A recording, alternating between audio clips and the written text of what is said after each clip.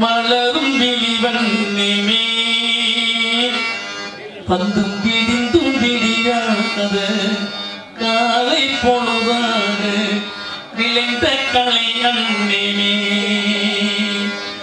நதியில் விளையாடி கொடியில் தலை சீவி நடந்த இளந்தென்றே வளர் பொதிகை மலை தோன்றி மதுரை நகர் கண்டு தமிழ் மன்றமே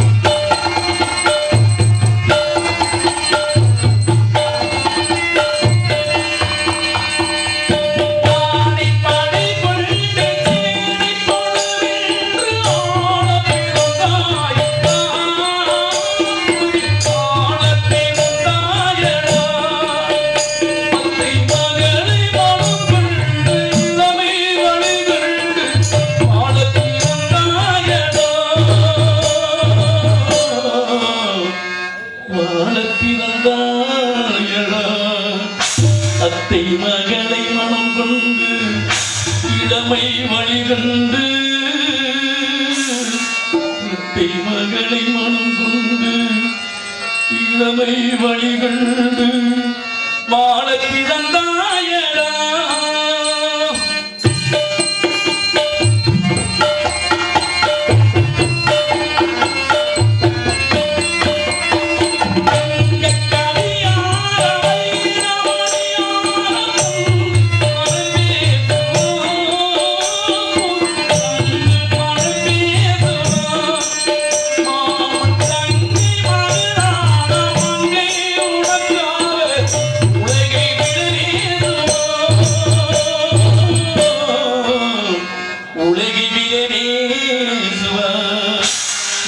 மாமன் தங்கை மகளான மங்கை உனக்காக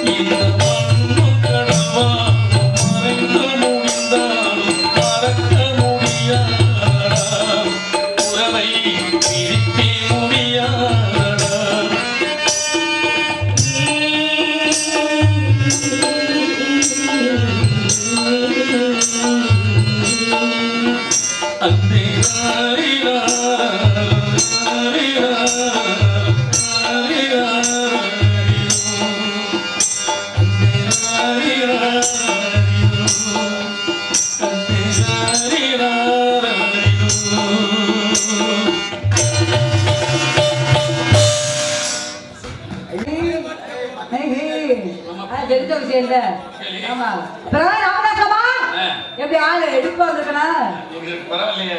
என்ன இருபத்தி நாலுல வச்சுக்கிறோமா? நாலாயிரம் ரூபாய் சம்பளம் வாங்கினாக்க அப்புறம் பல தான் வரணும் இந்த மாதிரியே கருவா குழந்தாவே இருக்க முடியுமா? சரி நீங்க நாங்க எங்க போறோம் தெரியுமா? முதல் முதல்ல எங்க வள்ளியம்மாவை சந்திச்சிருக்கிறோம். எல்லாத்துக்கும் பொங்கல் திருநாள் வாழ்த்துக்கள். காவலுக்கு போய் ஆளுநம் சோடு பறவைகளை விரட்டணும். பறவையை விரட்டுறதுக்கு முன்னால ஒரு நோட்டீஸை படிச்சிடுறேன். டேய் பேரு படிக்கும் போது ஏதாவது கூடாத ஏதாவது சொன்னேன் உனக்கு உண்டே விடுவேன். ஆமா. அஹ், கேப்டன் விஜயகாந்த் ஐயா பாடலை பாடும்படி எனக்கு வழக்கறிஞர் கே ஆர் மணிகண்டன் சார்பாக நூறு ரூபாயும் குருநாத உரிமையாளர்கள் என் ராஜகுமார் என் வல்லரசு கண்ணன் சார்பாக நூறு ரூபாயும் ஞான காபி பார் உரிமையாளர் ஆர் ஞான பிரகாசம் சார்பாக நூறு ரூபாயும் மொத்தம் முந்நூறு ரூபாய் அன்பை அன்பு இதயங்களுக்கு எங்கள் சார்பாக நன்றி தெரிவித்துக் கொண்டு ஐயா பாடல பாடலாம் இருக்கிறேன் பிள்ளைங்க!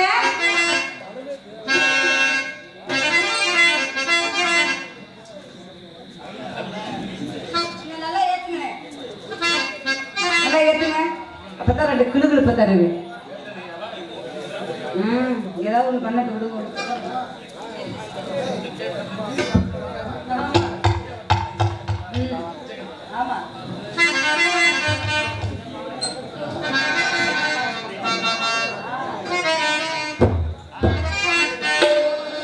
அந்த வாழுக்க போல மனப்படத்து மன்னவனே.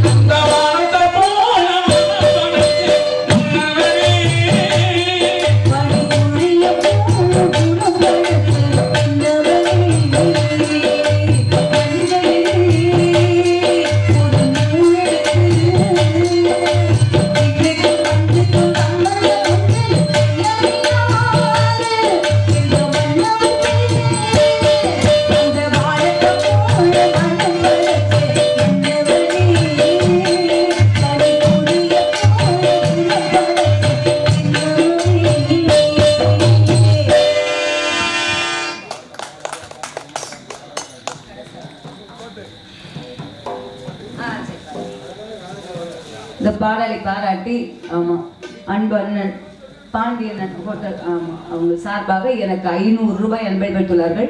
அன்பகத்தில் அன்பு அண்ணன் அவர்கள் குடும்பத்தார் அவர்களுக்கும் மற்றும் கிராமத்தவர்களுக்கும் எங்கள் சார்பாக நன்றி கொண்டு ஆமாம் அப்புறம் மாமா அண்ணன் சொன்ன மாதிரி ஐயா தேவரையாவை பற்றி ஒரு பாட்டு பாடி ஆமாம்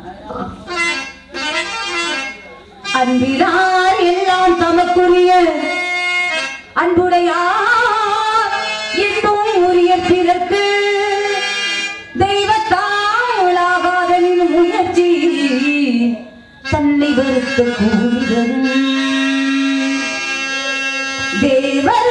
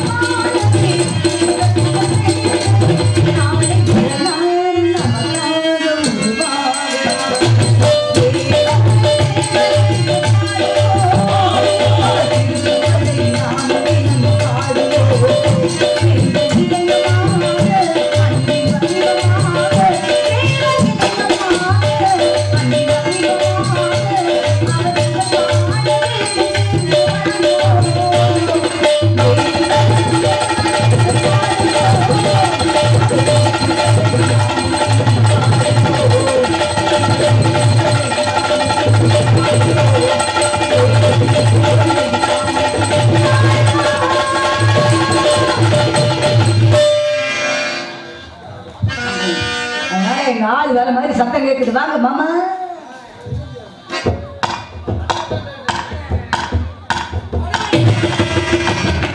அடடடடடடடா, அடேங்க அப்பா கூட்டம் அப்படியே இருக்கையா அப்பா காதுக்கு போச்சுனாரு கண்ணு கட்டுமா காவல் பார்க்க சொல்லியிருக்காரு வந்த உடனே காவல் பார்த்தா நல்லா இருக்குமா காவலை கொஞ்ச நேரம் ஒதுக்கி வச்சுட்டு கொஞ்ச நேரம் காத்தல் பண்ணணும் காத்தல்னா தெரியுமா கல்யாணத்துக்கு முன்னாடி பண்றதல் காத்தல் கல்யாணத்துக்கு அப்புறம் பண்றதல் முழுத்தல் இடையில தள்ளுறதுலாம் அறத்தல் குறத்தல் அப்படியா இருக்கு.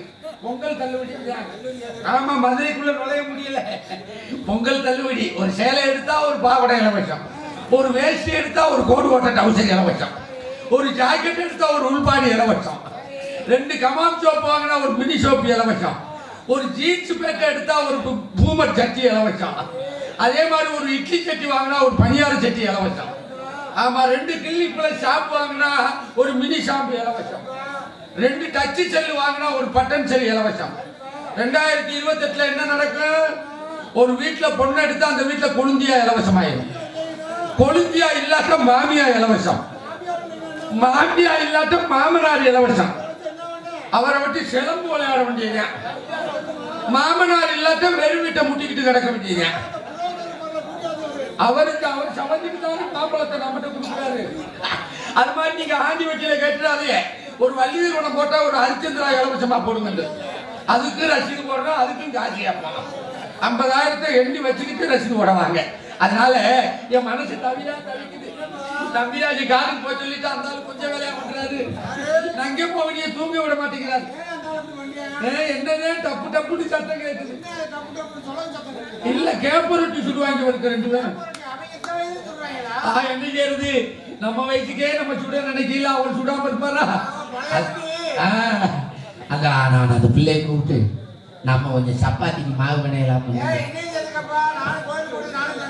நீ என்எஸ் நகர்ல போய் ஹோட்டல்ல பண்ண? நான் இங்க பண்ணிக்கிறேன். அதனால எனக்கு அலுவல் பாதி இலுவல் பாதியா இருக்கு. அந்த பிள்ளையை கூப்பிட்டு கொஞ்ச நேரம் ஆடி பாடி சந்தோஷமா இருக்கணும். அடியே! வாடி முழுத்தல்லு. ஆமா.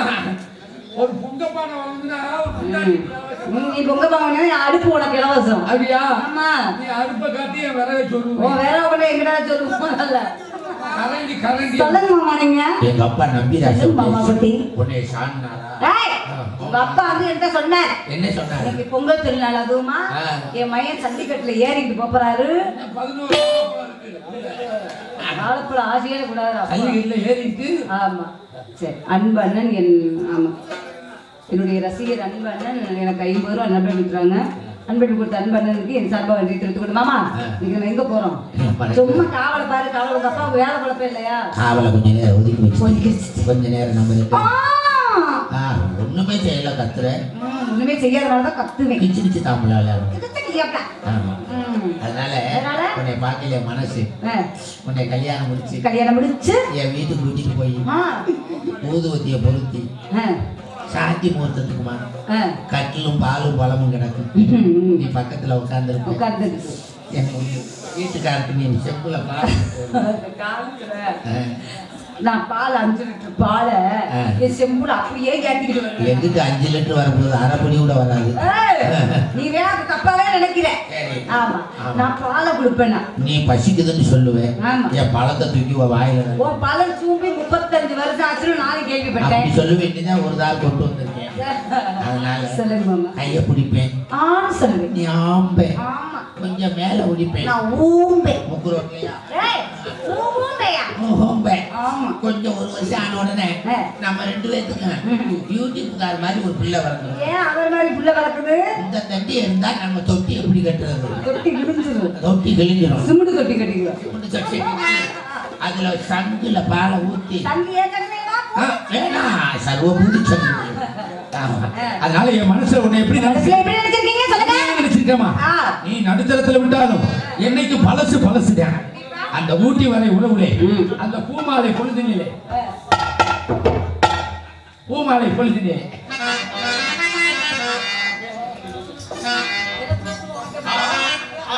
ஆ